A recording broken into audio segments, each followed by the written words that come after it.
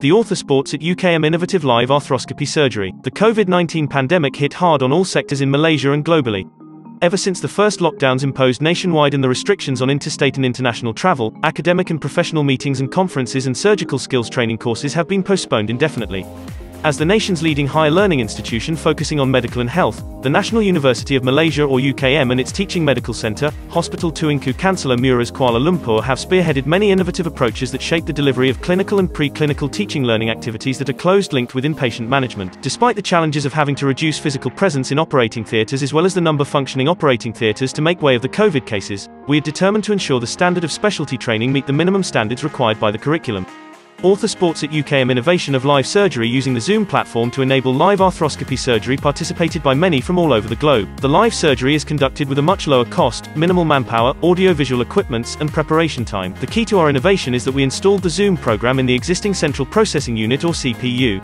A vendor-provided, pre-installed program called MedXstream is used to manage the arthroscope video output which can be visualized in the main and secondary monitors.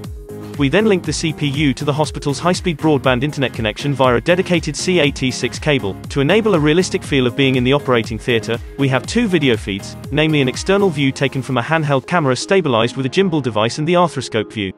We have a live surgery director, moderator leading the two teams in place to ensure smoothness of the broadcast, the studio team and the OT team. The studio team consists of a broadcast manager and a participant coordinator.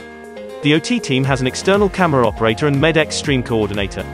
Both the teams are in constant communication using wired or Bluetooth earbuds and headphones to coordinate the video output views as well as managing the communication traffic during the surgery. We have a total of 88 participants throughout the sessions mainly from Malaysia.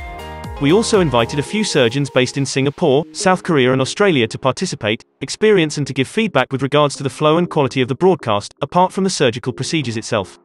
On the feedback of video quality and voice clarity, both our local and international participants reported good to excellent audiovisual quality as the video was smooth without lagging and they are able to understand and identify the structures and the arthroscopic works. Minimal costs and simplicity are the main advantage in our innovation when compared to a conventional live surgery by utilizing the end-user application as well as digital devices that we commonly own such as a computer or laptop, tablet and smartphone. The COVID pandemic has resulted a new paradigm in arthroscopic surgery training which enables surgeons and trainees from anywhere in the world to participate in a live surgery, comparable to a conventional setup. A borderless learning for surgical field with new and exciting possibilities for other similar surgical disciplines that utilizes the endoscopic or laparoscopic camera view. We are confident that the imminent 5G connection will boost the quality of audiovisual to bring the surgeon and participants and viewers to an immersive connection during the live surgery. As we improve on the video output broadcasting technique we strongly believe that our Orthosports at UKM Live Arthroscopy Surgery Protocol will trailblazing the surgical skills training in Malaysia and globally. Thank you.